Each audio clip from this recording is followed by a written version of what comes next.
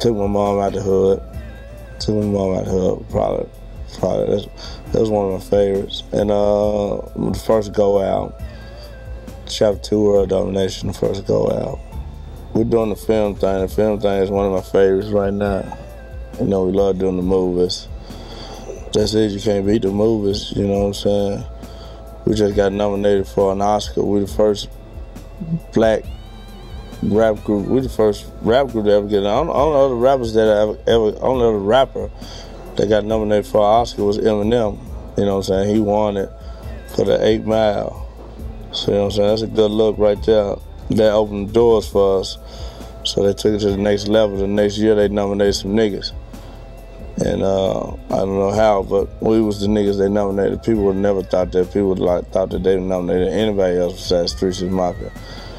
We the first rap group to ever be nominated for an Oscar. You know what I'm saying? That's history. Matter of fact, we the second black people, second black motherfuckers that ever be nominated for an Oscar. The first, first black person that was ever nominated for an Oscar was Isaac Hayes for the movie Shaft in 1972. And here it is, 2006. We the second black people to ever be nominated for an Oscar. Oscar ain't for black people. You know what I'm saying? But it is now, because we changed the game. It's big now. That was for uh, Hard Out Here for a Pimp off the Hustle and Flow movie. We finna change the game. The Academy Awards, they fucking with us, they showed us love. We finna change the whole game. We've been messing with John Singleton since uh, Baby Boy. The Baby Boy movie. We did the song My Baby Mama that aired two times in the movie. We've been messing with us ever since, and we real cool. Craig Brewer, who wrote and directed Hustle and Flow, that's from Memphis. That's a, uh, that's a uh, fan of our music. We had them two connects, so we did the movies. They called us to do the movie, the, uh, the music for the movie. They wanted us to do the whole movie, but they couldn't afford us. and they said that on the the directors whatever the fuck on the movie. They said that.